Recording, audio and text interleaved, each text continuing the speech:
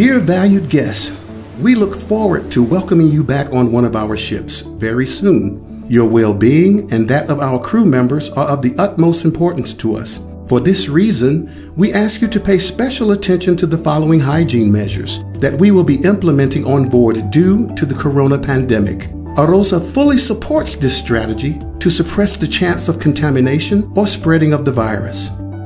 Please do not begin your journey unless you feel completely healthy.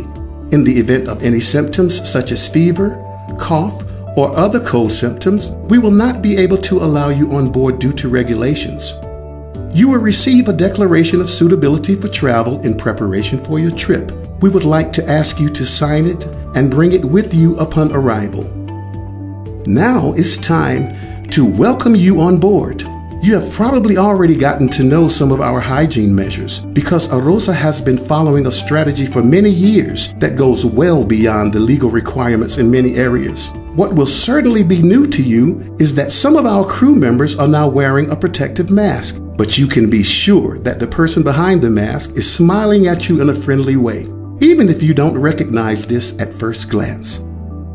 Please keep in mind that you are legally obligated to wear a protective mask on public transportation. This also applies to our transfer and excursion buses, as well as some areas on board our ships.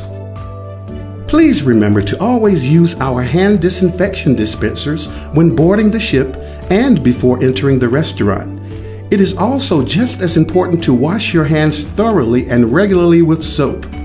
We are also obligated to measure your body temperature upon arrival.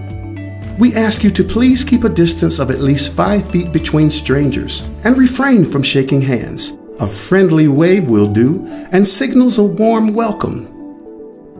Please sneeze or cough in the pit of your arm or in a handkerchief. If possible, do not touch your face. Please understand that the onboard operations you've been accustomed to have been adapted to the current circumstances and conditions. You may only order drinks at your seats. The counter seats at the bar will no longer be available. To ensure minimum distancing, seating in the restaurant and in the lounge have been reduced.